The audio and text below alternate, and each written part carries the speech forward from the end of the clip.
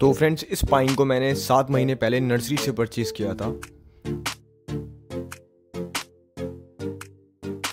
इसका जो नाम है, वो है चाइनीज़ ब्लैक पाइन और ये मेरे पास नहीं था और ये बॉन्जाई बनाने के लिए बहुत ज़्यादा सूटेबल प्लांट्स है और ये एक बहुत अच्छा मटेरियल है जो मुझे वन एटी रुपीज़ का मिला।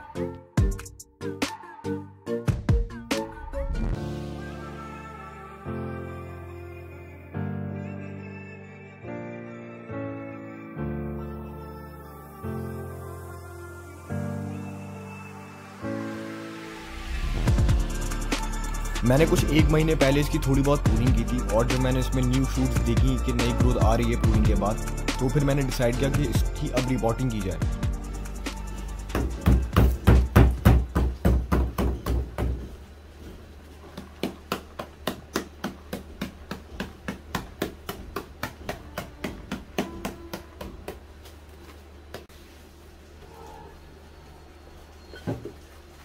सबसे पहले प्लांट को पॉट से अलग करके बाहर निकाल लेना है, ठीक है? फिर उसके बाद आपको उसकी रूट बॉल को चेक करना है, देखना है।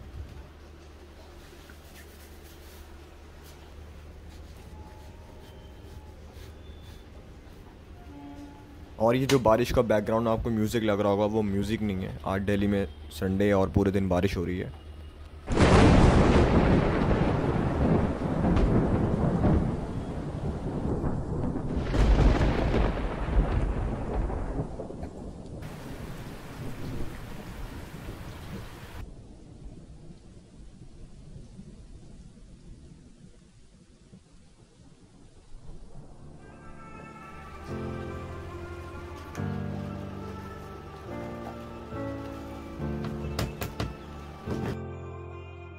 तो जैसा आप देख रहे हो कि इसकी ये ब्रांच काफ़ी लगी लग रही है और एक पीछे वाली जो ब्रांच है वो भी काफ़ी लगी लग रही है।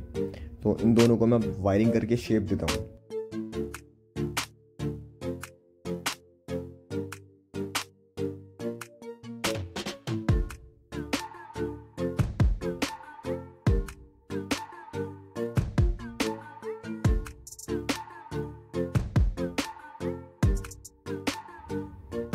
इसको अच्छे से ऑब्ज़र्व करने के बाद मैंने स्लांटिंग स्टाइल फाइनल किया है। मैं इसकी स्लांटिंग स्टाइल में अब इसकी ट्रेनिंग करूँगा।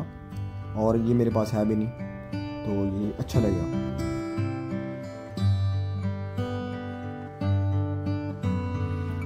रूट बाउल को और पॉट को एक चीज़ से बाँध दें ताकि ये हिले ना। ठीक है, फिर आप इसके अंदर जब अच्छे से मिट्टी को सेट करोगे ना, वो अच्छी तरह से जम जाएगा। तो मिट्टी जो है इसमें बहुत अच्छी तरह से सेट होगा। आपका प्लांट हिलेगा नहीं बार बार आपको परेशानी नहीं होगी। क्योंकि जब मैंने शुरू किया था तो मेरे साथ ये बहुत ज़्यादा प्रॉब्लम आती थी। प्लांट हिलता रहता था। तो मैंने फिर इस बार इस पे यहाँ पे इसको टेप से टाइप कर दिया। ताकि ये मिट्टी अच्छे से सेट हो जाए। मेरा जो बॉन्जाई है, वो रेडी हो चुका है। मैं इसको भर के पानी दूँगा। मैंने इसको अच्छे से रैप कर दिया है।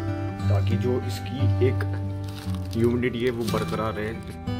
और अगर आपको वीडियो में कुछ थोड़ा सा भी सीखने को मिला हो या फिर आपको वीडियो अच्छी लगी हो तो प्लीज़ वीडियो को लाइक करें। चैनल पर नए हैं तो ज़रूर से सब्सक्राइब करें। Thank you so much for watching friends और ये इसके कुछ एक दो दिन बाद की अपडेट है।